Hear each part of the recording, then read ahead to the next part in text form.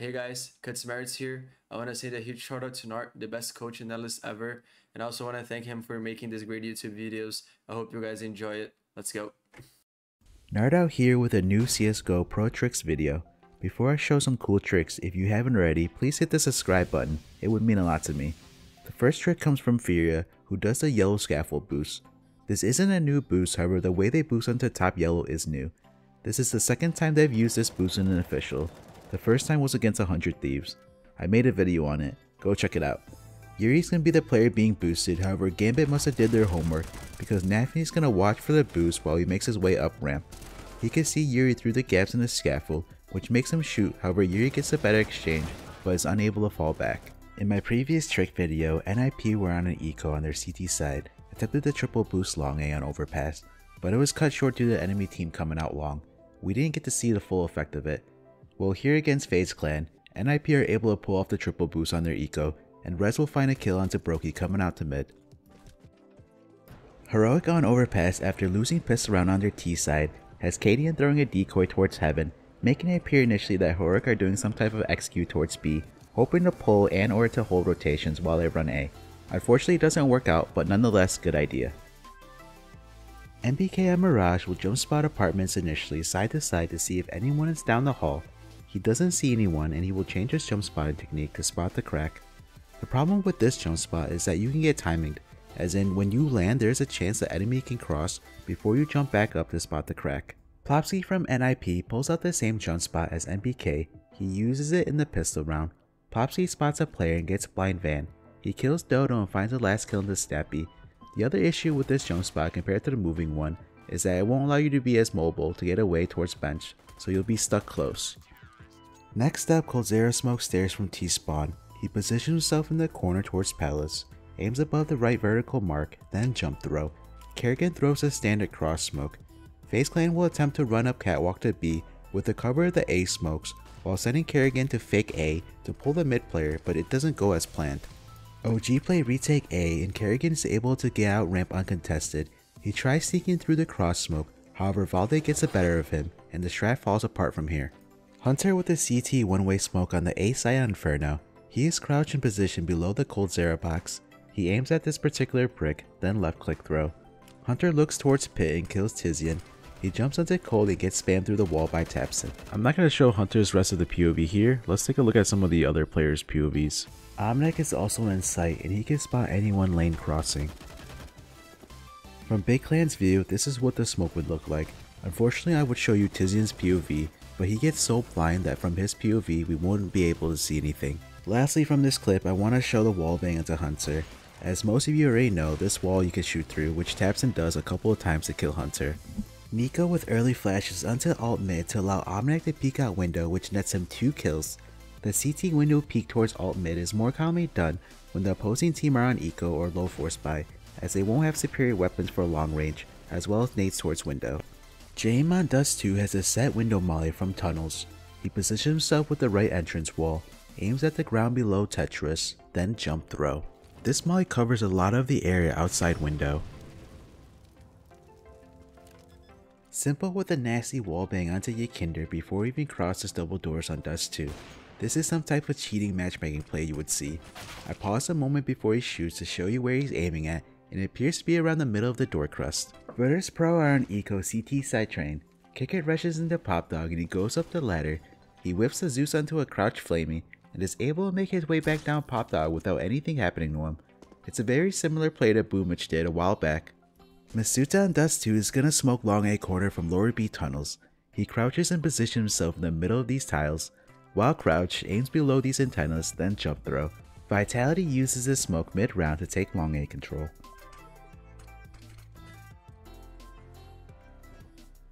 Do you want to see this nade set combo that Issa throws on Dust 2, where he throws a lurk smoke and molly from one position? I'll have this alongside many other trick clips that did not make this video, only exclusive to my Discord members. The invite link is in the description box or comment section. Aleksib on Nuke smokes Mini from vents. While on the vent ladder, he aims above the yellow sticker, then left click throw. I covered a video on how OG uses this smoke, which you could check out here. KSCERATO is gonna nade barrels from outside monster. He gets on the stairs, positions himself with the railing, then aims above the short pipe, takes a couple steps and jump throw. NAF from Team Liquid also throws the same nade, however he needs to take one or two more steps for his nade to do more damage. stavn on T-side train is gonna smoke inside connector towards B. He positions himself with this part of the train, then aims at this box, runs two steps and then jump throw. Heroic uses this smoke to fake a B rush early on alongside sending one player towards halls to throw nades and show presence, then they send three players out T-con and one pop. Alexis is gonna molly porch, and it's a molly that I've been seeing a lot recently to help take mid control. It's perfect to clear anyone under porch, and you're gonna start seeing this molly more in the pro scene because teams want to clear that area due to the popularity of CT setups that fight for mid. Alexis molly takes a little bit of time to spread to get the corner. I have a better lineup. You see these antennas? Well, use the roof to cover them, and once you do, you'll aim a little bit to the left of this white mark, walk two steps, then jump throw. The Molly I throw instantly covers the corner and will burn that player and or force the smoke to come out to extinguish it. There's a new meta on T-Side Dust 2 where teams are having one rifler shoot the cross while the opera's holding doors as well. There's no really trick to this, honestly it's all RNG. In the Lexi P and gla1ve clip they start shooting at 143 and NAF starts shooting at 152. poizon has the best mid spawn and he's gonna go for an aggressive mid ramp pick. When he jumps out of a window, he bounces a smoke off the left wall before advancing. The smoke will give him cover to fall back after he gets the kill in the steel. From Smooth's POV, he is confused about the smoke and you could tell he's never seen it before and doesn't know where to look. On Mirage, you've probably seen the boost of Molly triple on an A exec, but have you ever seen this boost by Movistar's Molly default? This is new to me. JKS is default and he's gonna get flash and burn, and mopoz kills him. Steel is the one throwing the molly, and he gets on Smooya's head. Both players are standing. Steel is gonna aim here and then jump throw. I'm curious if this is a Molotov to counter complexity, or if default is strong to molly for an A execute. Adren smokes Xbox from long A on Dust 2 by positioning himself in the barrel corner while standing, aims to the left of the last strand of the plant, then jump throw. Floppy the B anchor on Dust 2 has a flash for CT mid from standing on the box backside. He aims out the window above the dark thing sticking out, then left click throw. C9 have players on each side peeking afterwards. After K23 gets short control, moves boosted around the corner holding for any reaggression from C9. Lord and behold, SE comes around the corner and Moo kills him. On the same topic of K23 Dust 2 and Short A, Adren will get run boosted around the corner after flashing. This run boost will allow him to chase down the Opera who's holding ledge. When Adren was on FaZe Clan, they used to run this with NiKo being the top player. On Vertigo, you can shoot through the default box with an op on A site, which Tag does here killing Neelan. There's not really a lineup if you're smoked out. Tag shoots randomly and lands the shots. Rush is gonna smoke top con from T-spawn. You can see he had the wrong position in the beginning, and then he goes to the right of the trash can, even after with the correct positioning, Rush still had a hard time figuring out the correct lineup in which he eventually got. To throw the smoke, you position yourself to the right of the trash can standing, then aim at the right corner of the white frame, then you'll crouch and move forward while you hit the point here, then jump throw.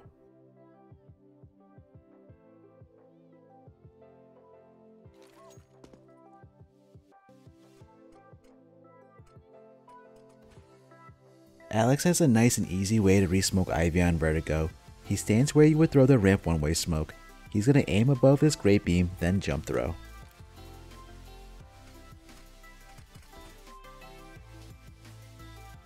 syrsoN's gonna peek connector with an off angle by boosting the tabseN's head. He doesn't see anyone, then he gets run boosted over into mid. Searson and Tapson display really good coordination and teamwork here. Let's just go ahead and sit back and admire the great teamwork here by Big Clan.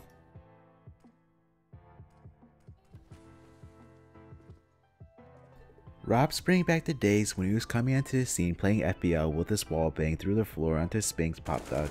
Granted, it only does 3 damage, but honestly, this is such a nasty wall bang by ropz. This wall bang is for any CTs holding towards the middle of pop. allu on CT side train is gonna get boosted onto the bomb train to allow him to peek into T-Con. He won't spot anyone or get a kill, but still, nice idea. After so many hours spent in CSGO, I never knew this was an angle held by Snappi as spools to hold upper. While he is doing so, allu's gonna watch his ramp. Snappi can turn around and help if need be. There's a new one-way smoke on Vertigo at B stairs Mousesports are throwing on their T side. This smoke is towards the top of the stairs which works out better than the other one because it allows your team to get closer onto site behind the cover of the smoke to maximize the flash duration and to get an early jump onto the CTs. Acor is the one throwing the smoke and he's going to throw it onto the top plank with an underhand throw. I'll show you how to do so in a bit here. To throw the smoke, position yourself under this white dot, then aim in between these two white dots and right click underhand throw.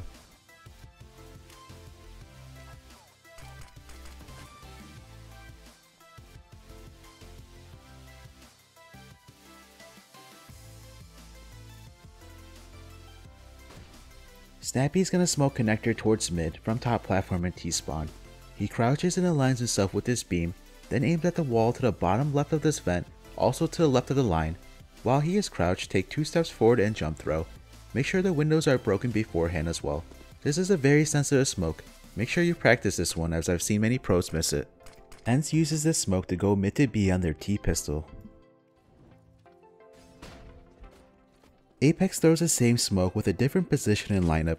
He uses the same beam, however he's going to position himself to the left of the beam, and he aims to the left of the line on the vent, takes a couple of steps and jump throw, all while being crouched.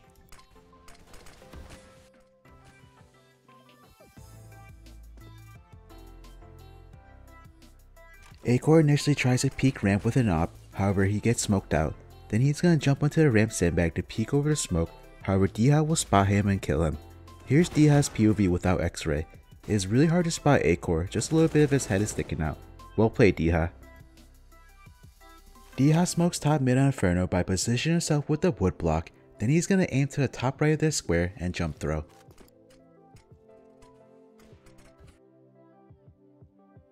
JACKZ with a fake molly sound cue bait to allow him and Hunter to push apartments. He throws a molly off the top wall, which will bounce back and won't burn them. JACKZ is able to kill Rez from behind, while Hunter pushes into T apartments and flanks. ZTR, who is the default apartment player for NIP, hears the molly and thinks nothing of it, and is the standard molly CT throw at the beginning round. Very nice play by JACKZ and G2. Here's another bait from G2, this time from Amanek. He's gonna smoke to his right, making it appear that G2 smoked off apartment, and then it's clear for NIP to peek halls. Amanek's gonna hold with an op, and he's gonna kill Plopski, then falls back. Hunter smokes top mid from CT spawn by positioning himself with the bench, aims at the top right of this square on the wall, then jump throw. I've got a video on my Discord server explaining how G2 uses the smoke. The next trick comes from Rain into the position play. Rain loves to cross to behind top boxes on mid on Mirage. Then he jumps onto the wheel. However, in this round the Molly comes in and forces him to get on top of the boxes, and he uses the cover of the top mid smoke to kill the window player Zaibu, and also hits a nice shot into Apex connector. I have another example here of another round of Rain doing the same thing, except this time no Molly, and he jumps onto the wheel and kills Apex window. Apex and CT spawn is gonna smoke top mid ramp to allow his teammates to cross to take control of the top boxes. He positions himself with the corner of the wall, then aims at the right of the vent in the middle and jump throw. Be careful as the smoke does leave a small gap to the right. Apex is gonna smoke top CT spawn boxes from catwalk by positioning himself with this wall, aims above this wood and then jump throw. Pair this smoke up with the mid to B smoke and a molly for the boost and you have yourself a good set to split B. FaZe Clan's retaking the B bomb site in Dust 2 and Twistzz is gonna ask for a boost to peek over a door to spot Big Box, however he isn't gonna spot anyone. What is Rain doing crossing while Twistzz is spraying the door? Rez with a self flash to peek door on Nuke, he is crouched near Tetris with some spacing between him and Tetris so the flash won't hit it. He crouches, aims below the yellow line, and left click throw. Rez will peek after the flash blooms, however doesn't spot anybody. Here's what the flash looks like from door. coldzera smokes a refrigerator in kitchen Mirage by getting in that corner and then he'll underhand the throw. This smoke blocks vision from anyone pushed up short and is used for a B pop which I covered in this Navi video. coldzera and FaZe Clan are in a pinch on the A bomb side of Mirage. Cole picks up a smoke from a dead body and he throws it off default. Twistzz plants and Cole jumps on top of Firebox and he uses the smoke as a one-way to kill Dexter Ticket and Frozen Jungle. Great play by Cold. Is going to show his two need lineups here. First he shows us how to smoke default Inferno by positioning himself with the end of the wall where you would smoke Moto, aim at the top right of the square and jump throw. Then he gets under porch and he will molly mini pit. This molly is very risky since you're out in the open and it takes some time to throw. In this round it's useful to flush out cold, but I don't see it being used in future play due to the cons. Cold's gonna smoke bottom banana by hugging the CT wall, and he aims in the middle between the window and door, then jump throw. This smoke is very forgiving, so the position doesn't have to be exact, whether that be with the positioning or the lineup. FaZe will use this smoke to help get banana control. Broky smokes top corner banana from outside T-spawn by positioning himself in the barrel, aims at the bottom right of the chimney on the paint mark, then jump throw. FaZe uses this smoke to help get banana control on their T side. It's gonna lock out two of the Mouse Sports players and Frozen gets stuck on an island. Another team that I've seen that uses this smoke is Complexity. ZywOo has a flash for apartments to blind any operas holding from balcony or van. It lands on the sofa and blinds Omnac, who had no chance to react to it. Omnac's gonna fall back but gets hunted down. To throw this flash, ZywOo gets on the underpass stairs. He looks for the light, and once he sees the light, he will aim above the doorway, takes one step and left click throw. It's a forgiving flash as long as your crosshair is to the right of this wood. Make sure you don't hit the wood. karrigan's gonna boost Cold in anticipation that Bank is being smoked off. He is behind the truck crouch. Cole gets on top and crouches so NIP doesn't spot him. NIP execute A and Cole flashes to his right before staying up and he kills Doc. From Nox POV he gets semi-flash and he doesn't expect that angle and gets killed. nawwk with a nice molly to clear towards the back of T-Con on train. Coming out of connector, nawwk positions himself with the wall, aims at this part of the wheel shown here, and he runs for it until he hits this yellow part and jump throw.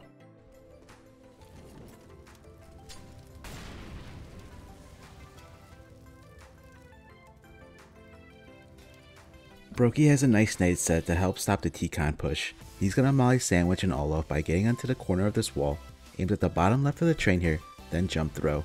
Then he moves up to the same wall and then positions himself here, and aims at the boost and left click throw. This is a sensitive smoke so you might want to find your own lineup.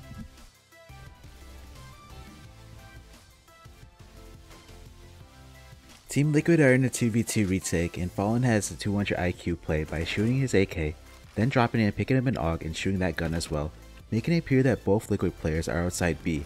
Zifnix, who was backside originally holding tunnels, hears the two different guns and gives up watching tunnels thinking both players are outside B, and Grim comes from tunnels and kills him. Hobbit's gonna bait Electronic and draw his attention by jump spotting Monster, while the rest of his team flanks him from behind and they sandwich him.